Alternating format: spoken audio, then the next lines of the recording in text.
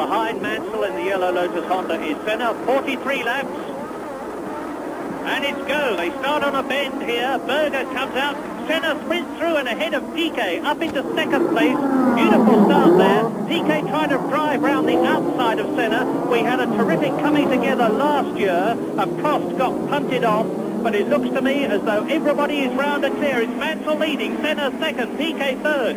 Then the two Ferraris behind him as they go into the Eau Rouge and start the blindingly fast climb up through fifth and sixth gears to Le Raidillon, to Kemmel, where they're doing 200 miles an hour and more as they approach the highest point of the course. And this is it. Mansell, Senna, Piquet, beautiful start by the Brazilian in the yellow Lotus Honda with the Williams sandwiching him, then the two Ferraris who desperately want to do well here today because they haven't won a Grand Prix for 25 races. Germany 1985. And they're going much better here in Belgium than they did in either Imola or Brazil. The Ferraris are showing form again. But Mansell now with a clear track ahead of him on lap one. You can see the lead he's got over Senna, Piquet. Mansell in tremendous form. In the four practice sessions he was fastest in three of them and already that looks like one of the Brabhams out to me. N or is it Alicia? Anyway, we'll, we'll have to check on that and let you know on our lap charts. But Meantime, it is still Mansell leading. Senna second. Here's the replay. And here you see tremendous dart by Senna through a very small gap, but uh, he made it beautifully, got him up into second place. And that, this is the shot from the helicopter. And Piquet got a little bit wide there, being pushed by Senna. He was trying to take him on the outside, but it was a clean first corner, unlike last year. Well, there was actually a bump together between a Ligier and a Brabham in midfield, but here is Mansell completing the first lap with 42 to go. The man who won last year and was second in 1985, and already Prost is up. Prost is well up ahead of one of the Ferraris, and as they go through it, Mansell leading, Senna second, Piquet third, Berger Alboreto is fourth. Prost is in fifth place. Been a long gap before Fabi and Benetton in trouble. Yes, it was uh, the rear suspension of that uh, Benetton there. You see the left rear wheel is hanging all awry. And that looks like Thierry Boutsen, in fact. It is Boutsen, and that will cause great disappointment uh, to the local crowd here who've been very uh, enthusiastic, having uh, one of their own in the race and doing so well. So Boutsen is out. He must have been a bit of a coming together there. So, oh! And that looks like a very nasty one indeed. One of the Tyrrells on the right. A car in the middle there with the whole... The race is bound to be stopped now. No doubt oh. about that. They're both Tyrrells. It's Jonathan Palmer and Philippe Streiff who are involved in a very nasty looking accident there. And I think it is Philippe Alliot in the Lola, the, the three, three and a half litre cars and there is absolutely no doubt that uh, on the second lap, third lap now, the race is going to be stopped. Well, it looks like all the drivers are out, but that looks a very nasty shunt. One car there is completely broken in half. And uh, poor Ken Tyrrell is not having a very good weekend. He flew all the way back to England yesterday to watch the Cup final because he's a lifelong Spurs supporter. And uh, that was a pretty disappointing day for him as his his main sponsor is a big uh, Coventry City supporter, so they sat together, but that wasn't a good day for Tyrrell, and now this is really disastrous for him. So there we are in the Ferrari pit.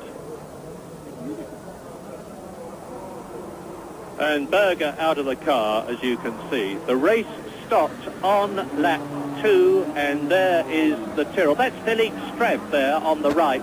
The tall man in the red, white and blue helmet being taken back to the start in the car. You can see how strong the cars are. Philippe Streiff completely unhurt. Looking for Jonathan Palmer, and there you can see the debris flying off. Obviously, there must have been a coming together because Streiff was in 23rd position on the grid and Palmer 24th. There's the Frenchman getting out of the car. I have no news about Jonathan Palmer, and I'll let you know as soon as I know myself. Yes, some 38 minutes after the original start, here is the second parade lap leading up to the second start. And the whole thing is being treated according to the FISA rules as though the original start and one and a half laps had never happened.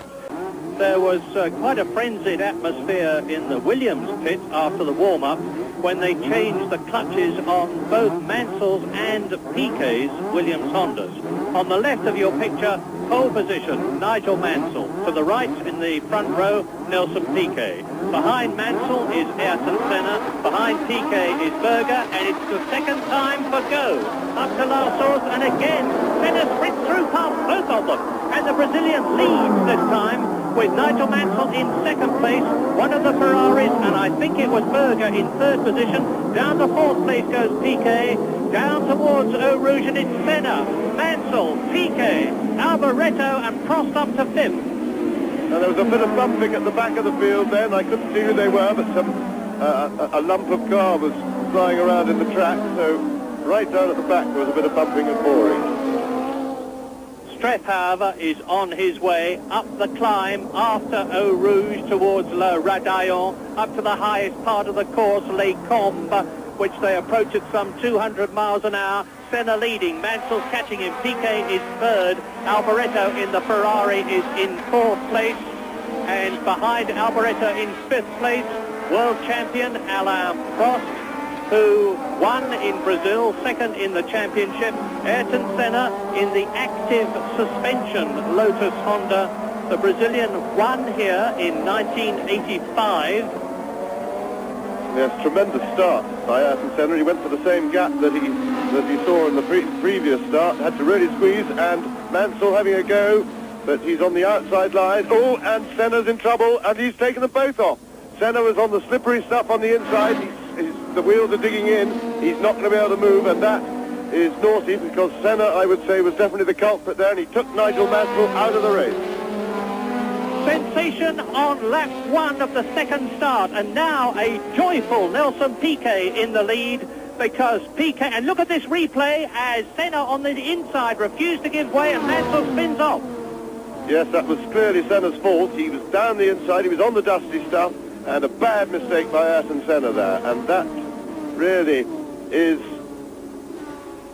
a continuation of his form last year. He cost himself any real chance for the championship, which he certainly had with uh, mistakes at several races, and now he's done it again, and that's very, very bad luck for Nigel Mansell. Now, Prost is up into third place.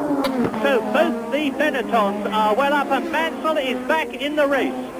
Nigel Mansell has rejoined, and it looks to me as though his car is perfectly okay. There's no reason why it shouldn't have been. He spun off into some loose stuff and has managed to get going again, whereas Ayrton Senna, with his rear wheel scrabbling for grip, clearly was not able to do so. And now, on the second lap, Nelson Piquet, desperately needing World Championship points, leads the Ferrari of Michele Alboreto, Alain Prost, and there is Ayrton Senna retiring from the Belgian Grand Prix.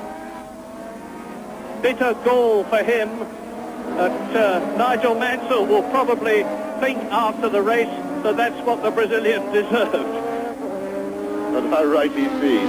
Yes, that's really, really cruel luck for Mansell. He was doing nothing wrong at all.